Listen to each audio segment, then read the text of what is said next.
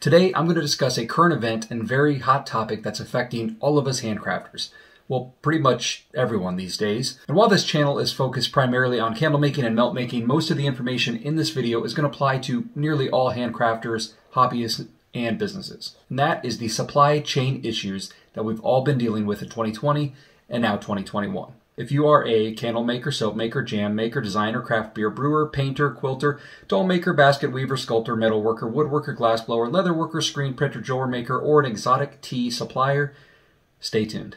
Hi, my name is Wade Thomas. I'm the owner of Black Tie Barn Candle Company and this YouTube channel. This channel is focused on helping other handcrafters, both for business or hobby. Feel free to check in the description below for my other resources, Facebook, Instagram, website, and so on. Okay, so as I mentioned, today we're going to talk about the supply shortages and the delays that we all are experiencing, and it's very frustrating and difficult to deal with.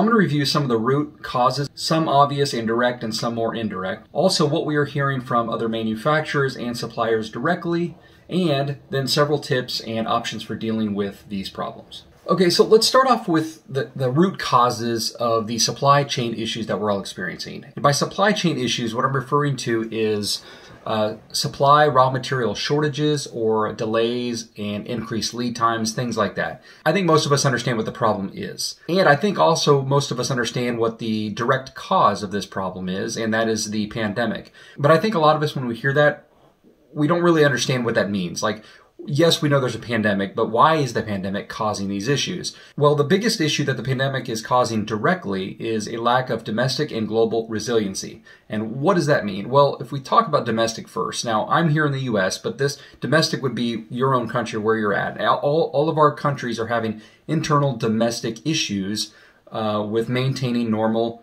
operations, normal operating procedures.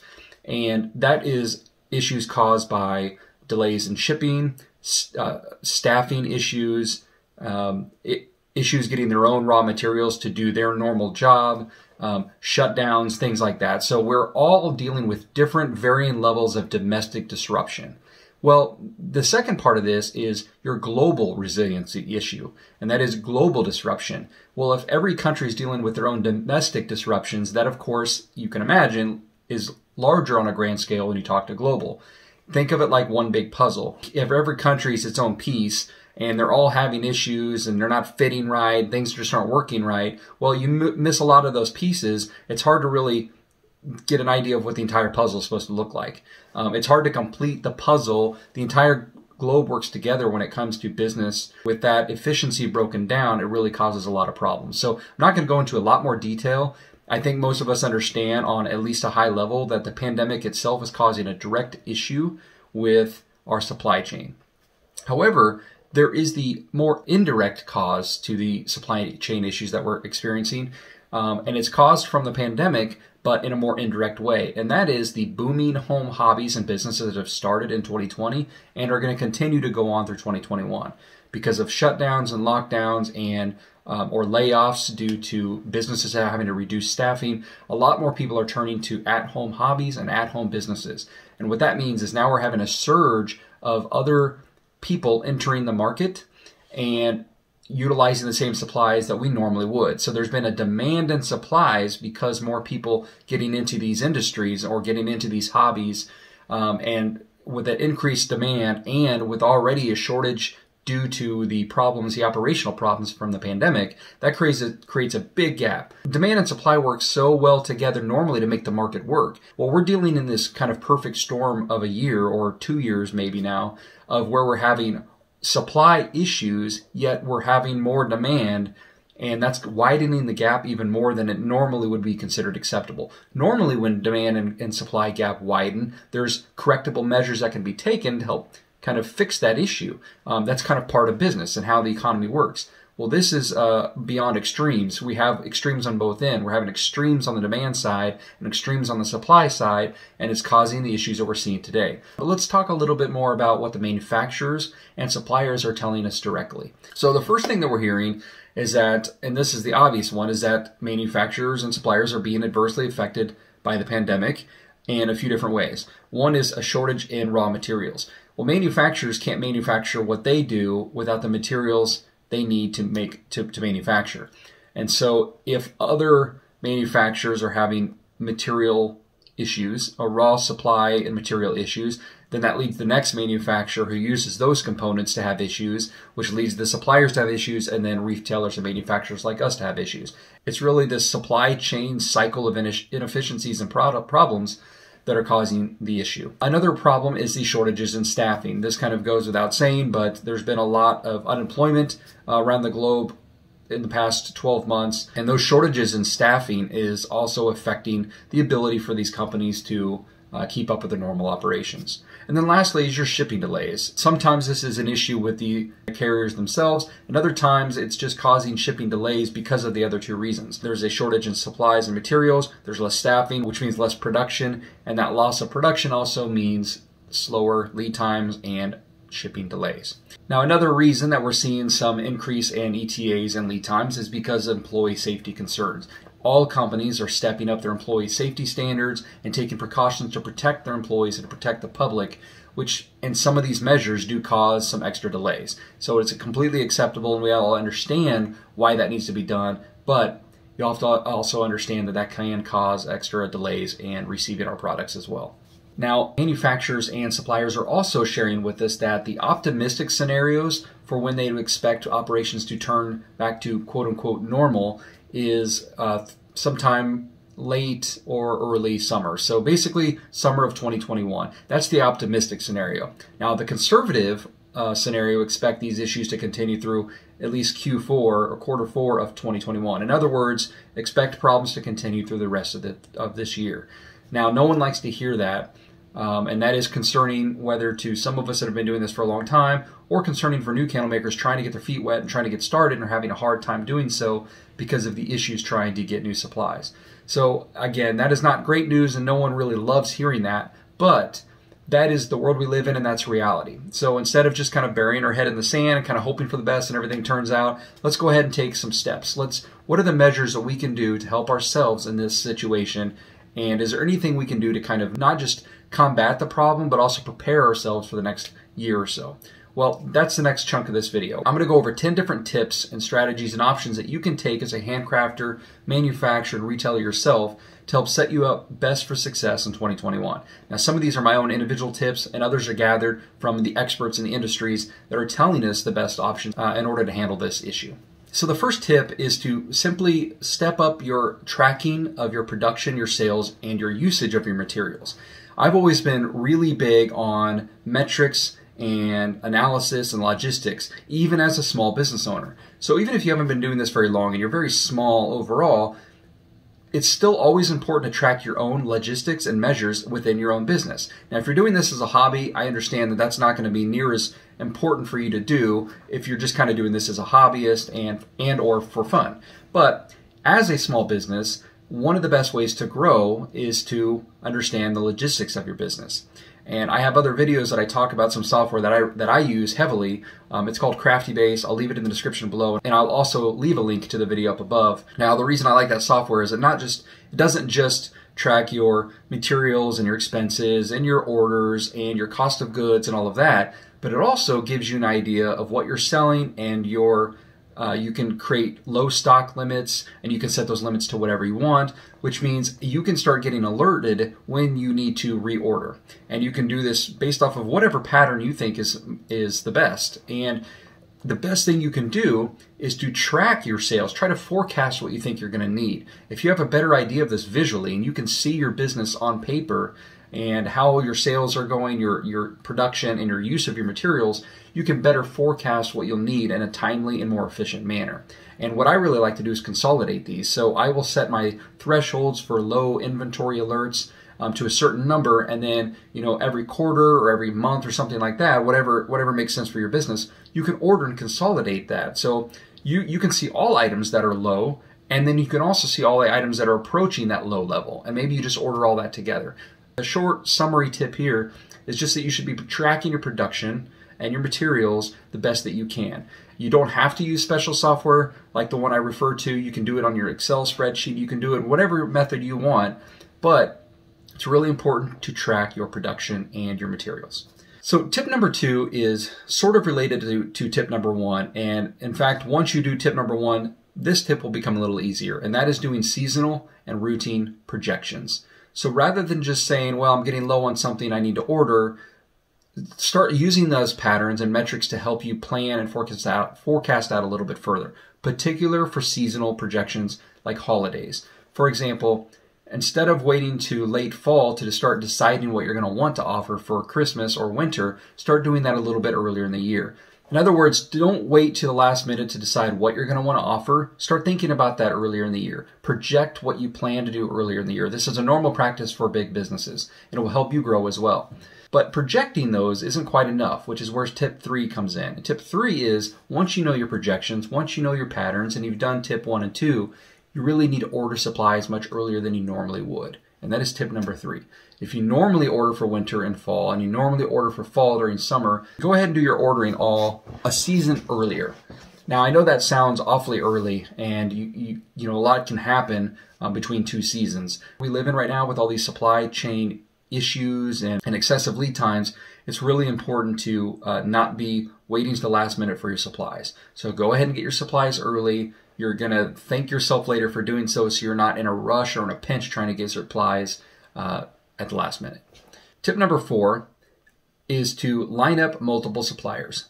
Many candle makers really rely on just kind of one or two main suppliers, uh, and, and that's a good thing to do. In fact, I have another video where I really push and encourage lining up just one or two manufacturers or suppliers when you're first starting out because it will help you keep your costs down, it will help you consolidate, and it'll make your entire business operations easier when you only have a couple suppliers to have to worry about dealing with. But in times like this, you really need to branch out and reach out to other suppliers.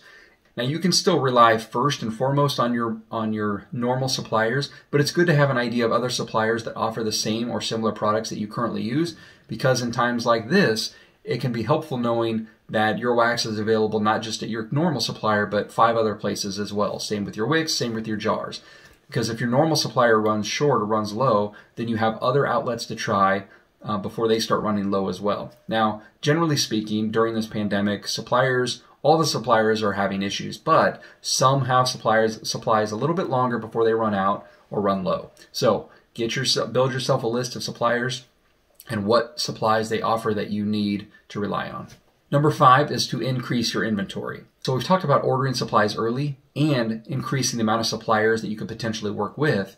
But the next step here is to actually increase the amount of suppliers you're ordering increase your inventory. Now, normally inventory control is a very difficult thing already to deal with, and you don't want to have excess inventory because inventory turnover and management of your inventory is very, very important. It helps keep your costs down, your efficiency up. But again, with the issues we're all experiencing right now and the delays of receiving supplies and the shortages, the best thing you can do right now is to increase your material inventory. This will prevent you from getting low or running out um, nearly as quickly, and it will also cut down on the issues that you're having with reordering. So, for example, I personally was not affected a ton by these shortages this year. The reason was is because I had ordered so many materials and supplies previously, um, just because I always try to keep a lot a lot of stock. But I had noticed earlier this year or, or earlier in 2020 where things were starting to get a little bit iffy that I took some proactive measures just in case and I stepped up my inventory and ordered much more than I normally do. And it got me through the entire year of 2020 without having to reorder again for most for most things, anyways. Uh, and so I was very fortunate in that regard. But I know that uh, I know a lot of people really did deal with some major issues. Now, a lot of uh, a lot of you newer candle makers don't have the capacity necessarily to be ordering too much bulk at once, and so this might not apply to you. But if you have the potential to order more inventory than you normally would, that will prevent you from having so many issues when we're having these supply shortages and delays. The next tip, if you are unable to increase the amount of inventory across the board, then focus on your critical products. What products are most important for you to keep on the shelves to ensure the success of your business? Do you have certain products that are most popular? Do you have certain materials that you use in all your products?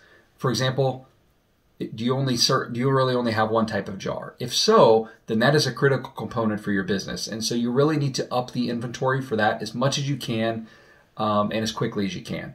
If you have certain products that sell more than others, then you should up the inventory of the fragrance oils that you use for those particular candles, or the wicks that you use for those particular candles, or labels, and so on. So the key idea here is to focus on your critical components and critical products to keep your business afloat. Now, tip number seven is to have a contingency plan or a backup plan, where possible at least. It's not always possible, but where you can, try to come up with some backup products and backup materials. For example, if you do typically only use one jar in your candle lines, try to find a suitable replacement jar. For example, a jar that is roughly the same size or at least roughly the same diameter, something that you feel like you can suitably replace as an alternative if you run low or out of your other products. Now, of course, you would need to be transparent with your customers, maybe on your website, change your descriptions or your titles, or whatever your avenue is for selling. Make sure you are transparent and explain to customers that you know you've run low or out of certain materials or supplies due to the pandemic and so you're offering these suitable replacements in the meantime now you may need to adjust price depending on how drastic a backup you need to go to but it's really nice to have something else to fall back on so that you're not completely out of business just because you run out of a core material. Another great backup item to have is an alternative wick. Now, typically, our as candle makers, we try to come up with the optimal and best overall wick for our particular candle. It's also a great idea to test and come up with a suitable backup wick. Sometimes we run into situations where we either run low or out of wicks, or suppliers and manufacturers no longer carry those wicks. Right now, a lot of candle makers are experiencing that. So having another wick that works really well as a secondary option can really save you in a pinch. So the seventh tip is to have backups where applicable. Tip number eight is to update your FAQs on your website, your frequently asked questions, and also your policies for your customers. For example, you might have to update your return policy, your refund policy, explain that due to the pandemic, there's the potential for supply chain issues and you're doing your best to uh, navigate through the pandemic. Uh, basically, just use all these other businesses that are doing this as a reference and kind of see how they're handling the situation. But most of them have some type of banner right on their website that says, you know, we're we are dealing with uh, COVID nineteen related issues, just like most other businesses around the world. We're doing our best. There could be um, issues with delays and refunds and processing of orders, things like that. It's all going to depend and vary by business to business and candle maker to candle maker, but basically just update your policies and your FAQs on your website. Transparency to your customers really goes a long way. Tip number nine is to extend your own lead times and your ETAs. Now, you can do this as part of tip 8 when you're updating your FAQs and your policies, but this is really important. I would highly recommend on your website updating your lead times and your shipping ETAs. Most of us like to say, you know, we'll ship within three days to one week, or we'll ship within one week, something like that. Probably should update those during these times. Most customers are going to completely understand, but it's much better to give this information up front rather than not change that. Your customers are expecting their order in two or three days. It doesn't happen until a week or two later, and then you have to kind of explain the issues with shipping and that a lot of it's outside of your control. And sometimes you can just end up with an unhappy customer, even though it's not your fault, and even though they know it's not your fault. So the best thing you can do is be upfront, extend your shipping, extend your lead times, extend your shipping ETAs. I think most customers will will appreciate the honesty and the transparency, and it gives you more wiggle room there's a saying that I really love, and that is under promise, over deliver. If you extend your shipping, if you extend your shipping times, your ETAs, your lead times to say one week to two weeks, but you still are able to get a lot of your orders out earlier than that, well, then you're just going to excite your customers, and that's just going to be over delivering what you promised. And that is always great. It's much better to always under promise and over deliver instead of the other way around. And the last tip I have for you today is to simply innovate. Use this as an opportunity to get your creative juices flowing and to be unique and search for ways to make your business even better, more innovative, unique. Do something different. If you're having trouble getting certain supplies to make certain products, this is the time to try something new. Start working on a new product. Start testing a new product and making something different. Or what can you do to your current products to kind of jazz them up a little bit? Is there anything you can do different in your business, in your own operations to increase your own efficiency, to increase your own profit, work on your marketing, anything like that. This is going to be a difficult year or two for a lot of us, anyways. So use the opportunity that's given to you to do what you can. Prove your business in different ways. Not everything is just about making the candles themselves. There are a lot of ways to improve your business, and this is a really good time to try to work on those things. I wish you all the best uh, in 2021. I know 2020 was a really rough year, and um, I'm hoping, you know, just like everyone else at 2021, um, ends up being better. It's been a little bit of a rocky start so far, but uh, you know, fingers crossed that uh, things improve from here. I'm wishing all of you the best of luck and the best of success in 2021 and all years going forward. I really hope that this video give you a little bit of encouragement, also some hope uh, and ways to deal and navigate this uh, this pandemic. If you have any other questions or comments, please feel free to leave them in the comment section below. As always, I appreciate all of you for being here. Thank you to my current subscribers. If you are new, please consider subscribing as I try to post content regularly on here. So again, thanks for tuning in and we'll see you next time. Thanks.